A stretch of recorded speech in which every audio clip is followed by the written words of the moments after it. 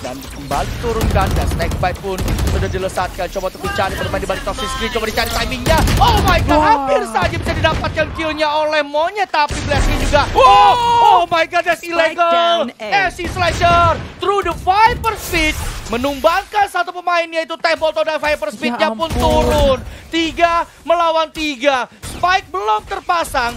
Masih ada waktu untuk memainkan area side dari Onigi dan SC Slasher. Terkena recon, dia terkena timing. Tapi belum bisa di-swing oleh Flip Jeder. Dan masih SC Slasher masih bertahan di piramid, di double pick. Sudah terlihat satu tidak didapatkan di sisi lain dari Severin.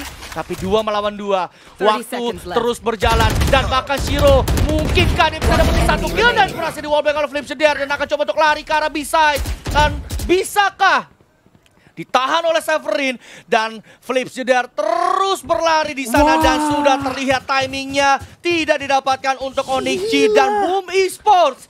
Masih bisa melakukan planting spike tapi apakah di cancel oleh Severin? di cancel gak ada waktu! dan G resmi mengalahkan Boom Esports di series pertama kita di map kedua 13 10 2-0 Bagaimana sih perasaannya berhasil mengalahkan Boom notabene? Boom ini merupakan tim terkuat saat ini dan belum pernah terkalahkan, tapi sekarang dikalahkan oleh Onyx G sendiri.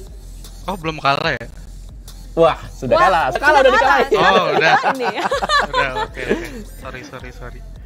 Uh, mana ya? Kita dari kemarin uh, expected sih menurut uh, menurut saya soalnya dari kemarin mainnya yang kayak agak shaky shaky gitu gara-gara mainnya tuh nervous kayak takut kayak apalagi kemarin kan ada yang main lawan teman sendiri terus jadi kayak geter gitu kan terus hmm. kalau sekarang kayak udah better kayak main biasa aja gitu